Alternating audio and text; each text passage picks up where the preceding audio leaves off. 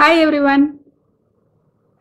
In this video, we are going to write algorithm, flowchart and code implementation for the problem adding two numbers. First, let's discuss about algorithm. So we know that algorithm is a step-by-step procedure to solve the given problem.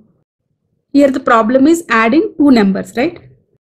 And before writing algorithm, we have to be very sure what is the input, what is the output and how do we solve means step by step procedure. So here first one is input. Here the problem statement itself is adding the two numbers. So the input will be two numbers, right? And what is the expected output? We have to return the sum of two numbers. Add two numbers means the sum which will be produced by adding these two numbers. So output will be sum which is also again a number. So first let's write algorithm for the problem. Input here I am considering A and B, two numbers.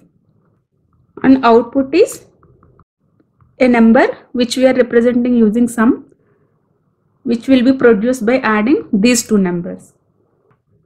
So step 1. Always step 1 is we have to start the algorithm. So first step is always with start.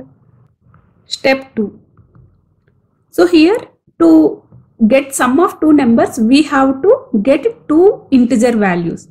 So next step is we have to read two values which are a and b. So step 2 is read number a.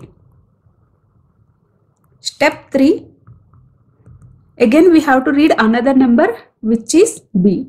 So read number b.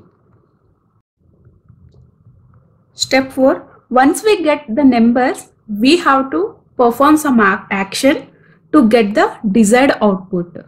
So here what we have to do add a and b means a and b and store it in variable sum. So sum equal to a plus b. Step 5. So we found what is the sum, what is the result which is produced by adding two numbers a and b. So that is the desired result. So this result we have to display. So step 5 will be display sum. So this is the output right which we are expecting to do. So that means we have completed all the steps. So at the end, we have to end the algorithm with stop.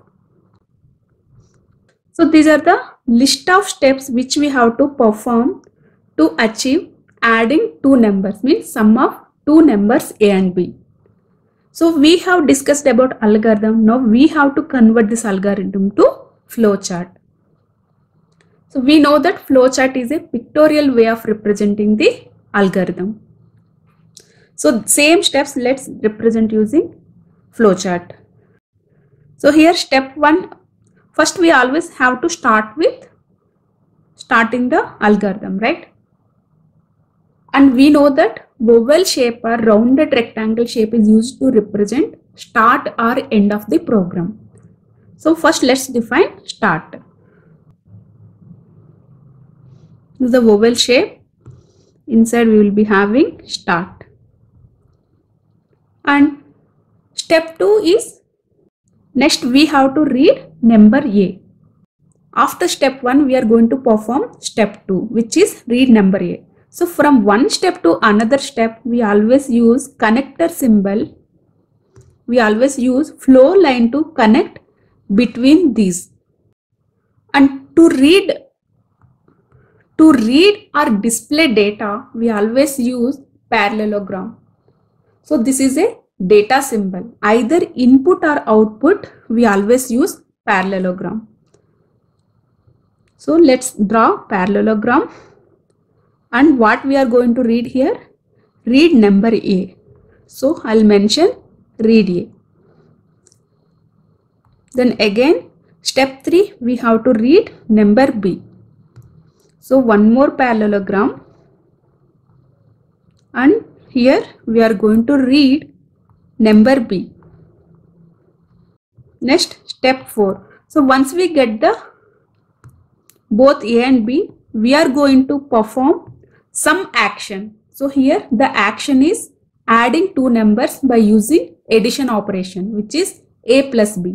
So to present a action or a process we use rectangle.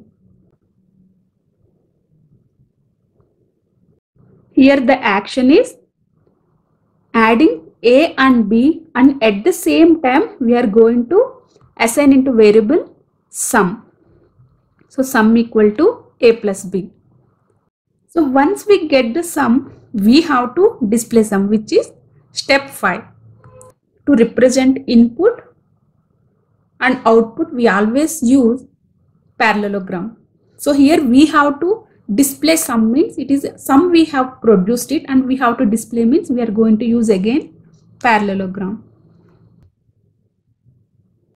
So here we will mention print sum and we already achieved what we are going to perform right. So we are going to end this algorithm using terminator. So which we represent using oval shape again. So both start and stop always oval shape.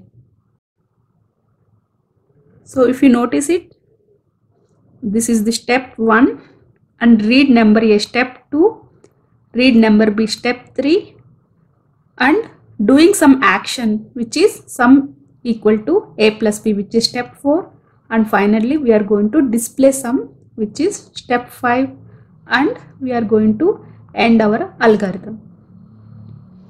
So between from one line, one step to another step, we are going to use flow line.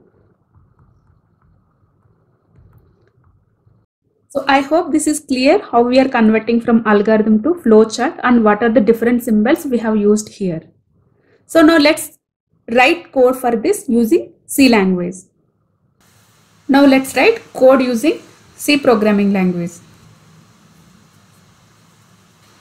So here I am defining file name which is solution dot c and this is the algorithm which we have discussed and we convert to flowchart. So now let's write code for this. Let's add header which is include stdio.h and write method which is int main so we have started the code and step 2 is read a.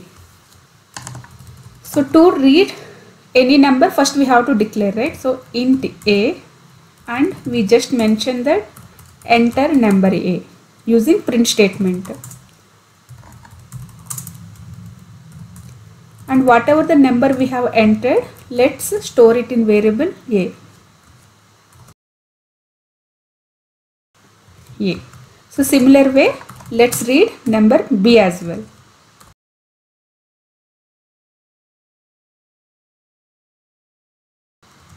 So once we got the number a and b what we have done we did some action right which is sum which is a and b which is a plus b and we stored in variable sum. So let's define in sum equal to the action here is a plus b once we get the value sum, what we have done? We are going to print it.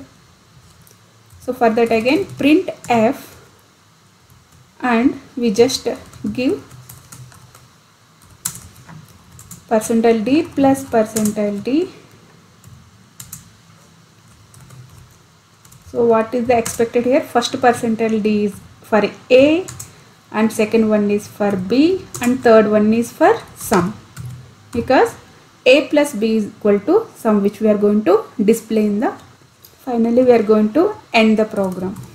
So here we are giving return 0 so now if you see whatever we have added flowchart or algorithm here we just converted to coding.